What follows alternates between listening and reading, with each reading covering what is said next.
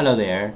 This video we are going to talk about Samsung USB 2.0 external hard drive PCB board repair and a disk data recovery.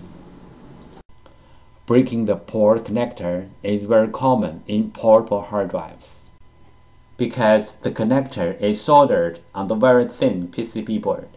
This is the most fragile part of a portable hard drive. One side of the connector is a heavy hard drive, relatively to the thin PCB board. Another side is a fixed computer. The connector is like a fragile bridge in between. And also, every time when you use the portable hard drive, you need to plug and unplug the portable hard drive. Sometimes the power connector is broken, but most of the time is the USB port is broken, and most likely the broken part is the thin PCB board, which is inside of a portable hard drive. There are three common methods to fix a hard drive PCB board. Method 1. Clean the contacts.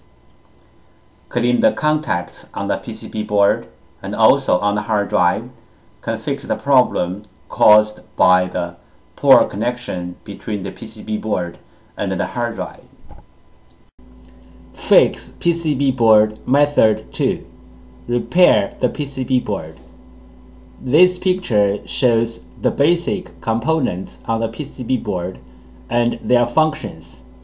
You may take this picture as a reference to fix your own PCB board. This picture shows other components on the PCB board. Fixing hard drive PCB board method 3. PCB board swap. PCB board swapping including two steps. 1. Find the correct donor PCB board. 2. PCB board firmware transfer. PCB board swap step 1. Find out the correct donor PCB board.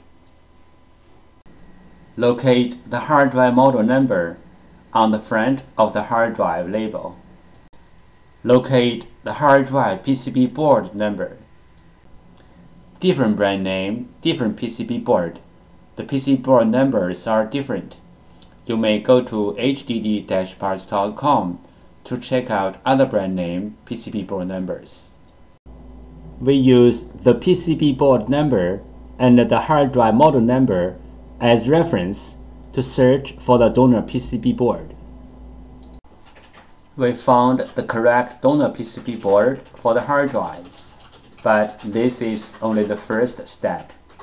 The next step is we have to do the PCB board firmware transfer to make the donor board work on the original hard drive. PCB board firmware PCB board firmware is the information data on the PCB board. It may be in the memory chip or in the main chip on the PCB board. For this model hard drive, we have to do the PCB board firmware transfer first, then we swap the PCB board. Otherwise, the new board will not work on the original hard drive. Why do we have to do the PCB board firmware transfer?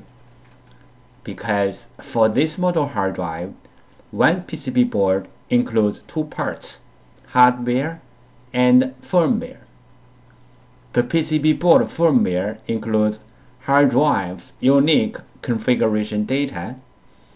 The hard drive needs this unique configuration data to work. So we have to transfer this unique configuration data from the original board to the donor board. Then the donor board can work on the original hard drive. Regarding the hard drive PCB board firmware transfer, we have three things to mention. First, PCB board firmware transfer is different from the hard drive firmware upgrade. The PCB board firmware transfer is to transfer the PCB board firmware from one board to another board. The hard drive firmware upgrade is to upgrade the hard drive's own firmware.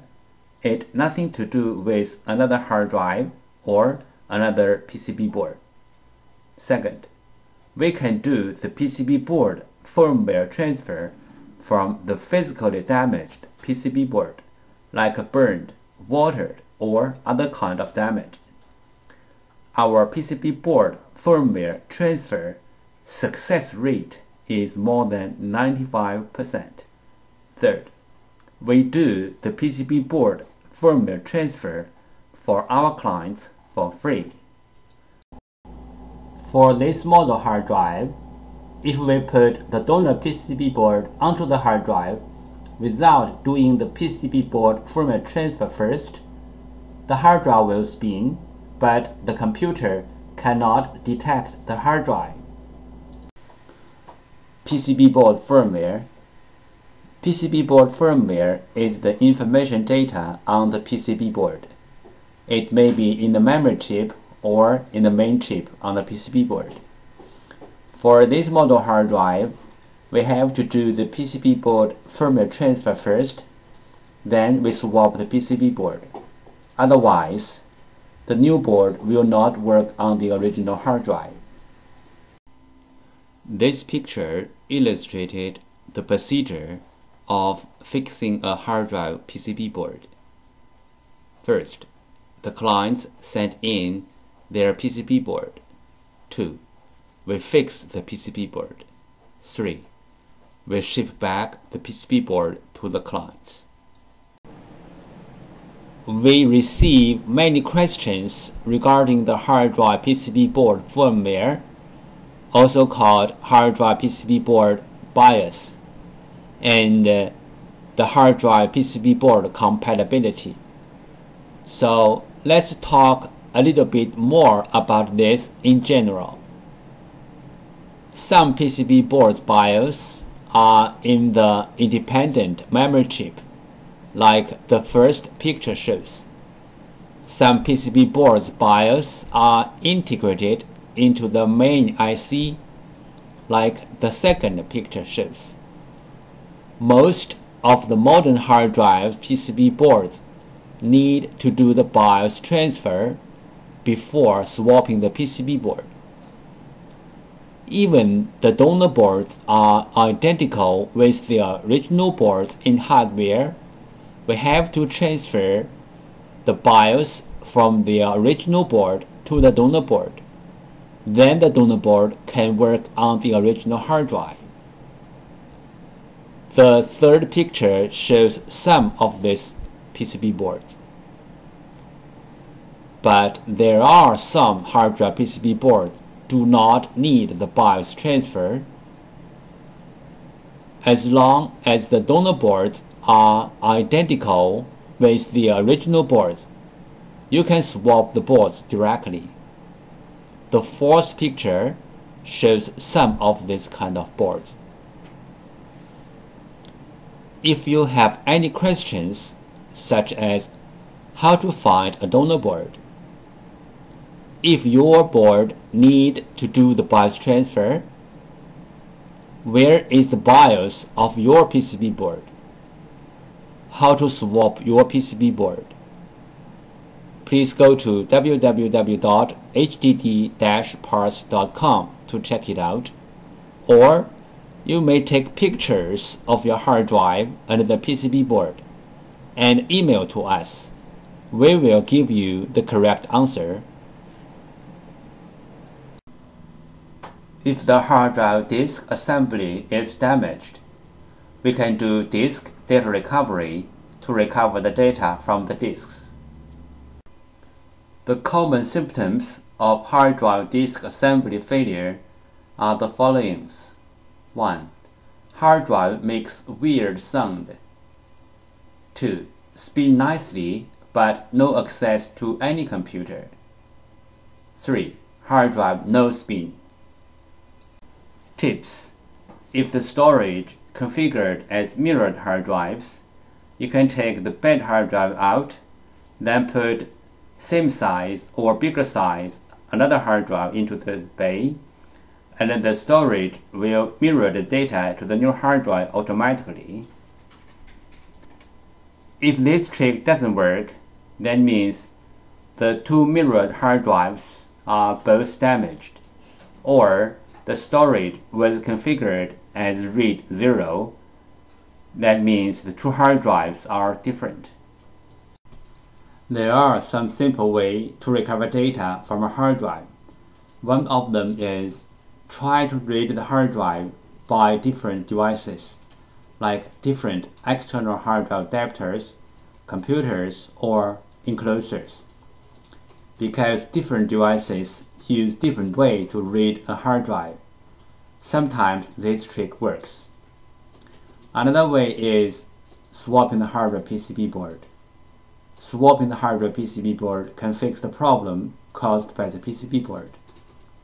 There is a cost in swapping the PCB board, but it is way cheaper than sending the hard drive to a data recovery firm.